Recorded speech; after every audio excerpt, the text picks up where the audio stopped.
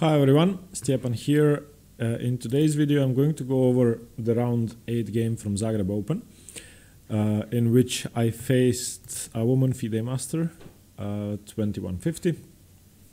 And the game was interesting uh, because of, well, preparation and I think mind games on my part. I don't know if, if uh, she had considered any of that but yeah, okay, just to give you a brief intro. Uh, so I played in Split Open in uh, last summer, and I'm pretty sure my opponent from this game uh, knows my opponent, uh, an opponent I played in Split, who is a great guy, by the way, crushed me in the Prince Sicilian. Uh, and I think uh, she knew what I play and he helped her with with the prep. Now, okay, I don't want to go into too much detail, but anyway, uh, she usually with black plays the the e6 Sicilian, the French variations of the Sicilian. And I don't go into the main lines with d4, into the Kans and Taimanovs and whatever. I play the Kramnik variation with c4, and I didn't know if she knew that I played that, but uh, the only other opening I'd expected from her was the French. Even though I, I couldn't expect it based on her games, I, I knew that she may play it because of my opponent from Split. Anyway, I may be wrong about all that, or I may have been wrong. Those are all just theories in my head, but helped me in the end. So, against the French, I played the Tarrasch French, knight d2, almost always. Uh, I have been playing a weird variation of the exchange lately, but uh, never in a tournament game. Let me just show you what I'm talking about. So usually against the French, uh, sorry, uh, after d5 I'm going to play knight d2, the Tarrasch, and lately after d5 I've been playing this fun line with takes, takes, knight c3. The exchange with queenside castling, which Mate taught me, and it's risky, white is supposed to be equal or worse on move 3, on move 4, but it's fun and it's hard to defend for black. So when we uh, when we started playing, she played the French, and I I sort of was happy because even though there were no games of hers in the French in the database, I knew that that was the second most likely opening she could go for, and made me happy that she played the French. And I'd actually prepared something uh, against it. So I went for the exchange uh, with e takes d5, e takes d5. I knew that she had most likely expected the Tarrasch, and then uh, the second thing she could have expected, because there are some online uh, games of mine in the variation, are knight c3.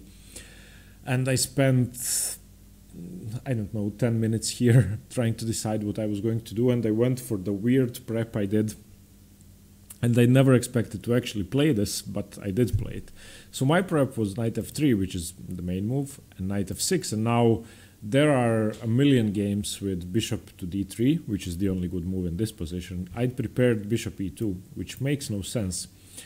Uh, and white is already slightly worse, but it's not really clear why. And let me tell you why I came up with this move in the first place. It's very counterintuitive. You're taking uh, a very passive diagonal, you're not doing much and black, of course, is going to play bishop d6, which is the main move after bishop d3. But now it becomes harder for, for black to play bishop g4. It's harder to pin the knight because the bishop is an e2. While at the same time, uh, white gets to play bishop g5 and, and pin the f6 knight.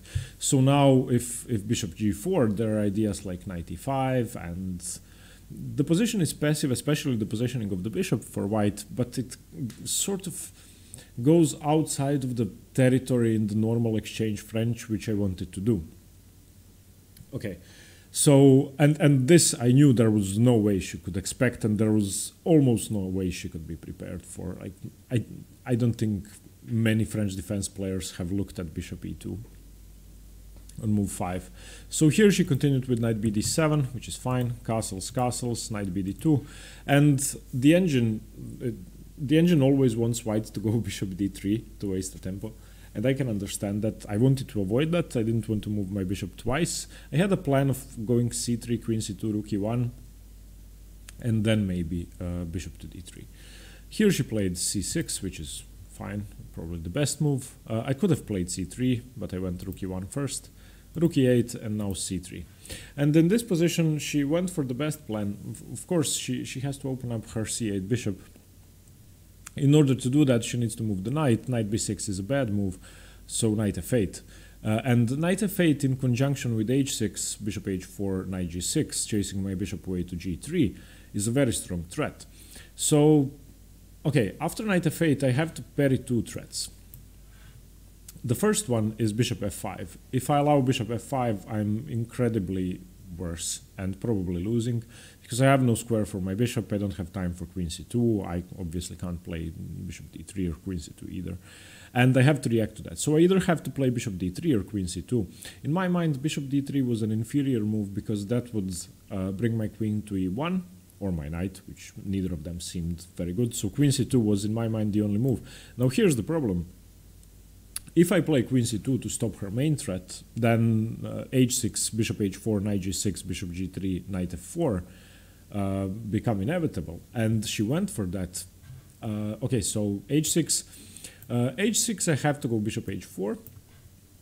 Knight g6 I have to go bishop g3. And here she surprised me incredibly uh, I before queen c2 and even uh, before c3 and rook e1, I saw this position and I was sure she was going to play knight f4, and that's very. Uh, this position is hard for white to play because this knight is so dominant. So I have two options. I can either go bishop f1 or I can play bishop takes f4.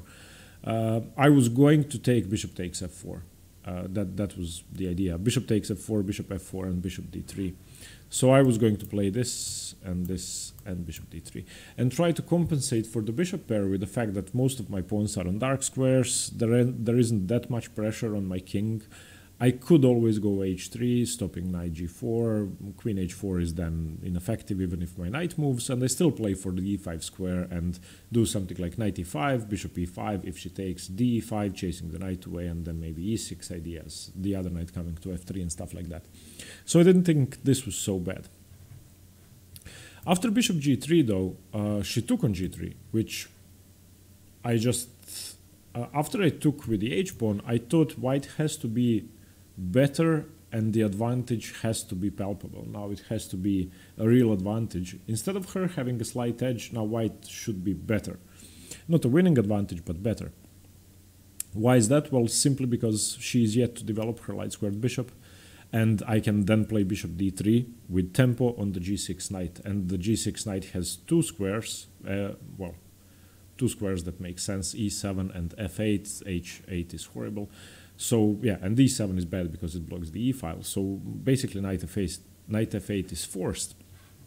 And if she doesn't develop the bishop now, what does she do? And she probably has to play bishop e6. Uh, that's the best move. Bishop e6, bishop d3, and now the knight is forced to go back, knight f8. And now I just increase the pressure with knight e5. That's probably the only move that makes sense. I want to go knight f3 with my d2 knight, and I want to go rook e2, rook a to e1, and optimize all of my pieces and then try to create something. So in this position, I was looking at queen c7 or queen d6 for her. She needs to connect her rooks. I thought queen c7 was slightly better, defending the b7 pawn in case I want to go queen b3 or something like that. She went queen d6. I went rook e2, she went b6, which I didn't really understand and I didn't really like. Of course, the idea is c5, but you really want to play c5. And I, I didn't think she wanted to play c5. So I, I went rook a to e1. And in case c5 happens, the only thing I have to do is I need to move my queen away to give my bishop some luft. Uh, because bishop f5 in this position, even though it seems like a good move, well, okay, we're going to see. So I was going to move my queen away either to b1 or to d1, probably to d1, and if c5, I was going to play bishop b1. And this position I thought was good for me. If uh, she, instead of c5, plays cd, then cd, let's say rook a to c8, knight f3, I'm, I'm very happy in this position. I think it's, it's nothing major, but white is better. But after rook a to e1, she went bishop d7, which I thought was a very weird move, especially after b6. Uh, and maybe she was afraid of something like queen b3 uh, and then knight c6, queen c6, bishop b5, but I don't think that's a threat. And I think bishop d7 is just a waste of time. Uh, maybe she wanted to trade pieces off, so if knight d7, then knight fd7, and then she can try to occupy uh, the e file or trade off the rooks. So rook e2, rook e2, rook e8, defended by the f8 knight. In any case, bishop d7 seemed like an invitation into an equal position for me. She probably knew that she was slightly worse, so I, that's understandable. So in this position, I was trying to come up with a plan, and I couldn't. I just couldn't find something good.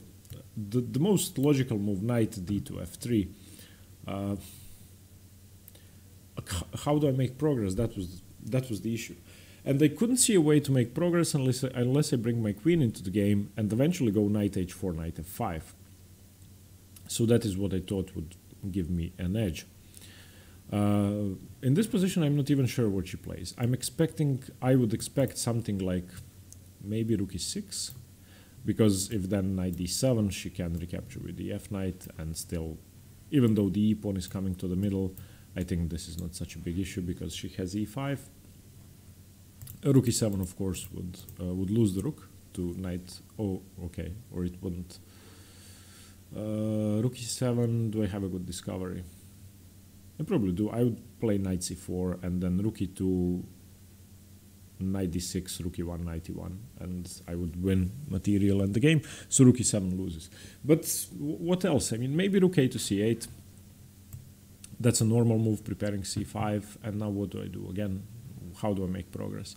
So I was trying to make something work and they came up with this move bishop f5, which if she'd played c5, I was going to move my queen away to not be forced to play bishop f5, but at this point it seemed like a good move. And after bishop f5, I realized that after bishop takes f5, which she played, queen takes f5 and rook e6, the position is now just equal. I just gave away my chance to, to control the e file, and she's going to play rook e8 next, and there's there's nothing I can do about that. And I now at this point I just didn't see any advantage for white. Uh, I had some ideas of going g4, but I don't think that's anything major. So even if I achieve this, I don't know. As soon as knight d7 comes, I'm probably in trouble. The thing is that by giving away my bishop, I gave away the e4 square, meaning that I don't have knight f3, and that was what I hated about bishop f5. So bishop f5 uh, takes queen f5. I never have knight f3. Let's say uh, in this position she played rook e6. If I go knight f3, which I obviously want to play, then knight e4, and perfectly equal. She can now go knight e7, knight f6. So after rook e6, I played what I thought was the best move, even though I knew it was going to be a draw, and I offered the draw. Uh, and that's that's it. Uh, she accepted because the position is now just dead even. Symmetrical pawn structure. Okay, I have double G pawns, but that doesn't really matter. We're, we are about to trade some pieces off. Neither of us is going to be controlling the E file, and should be should be just a dead draw. So the game wasn't that interesting.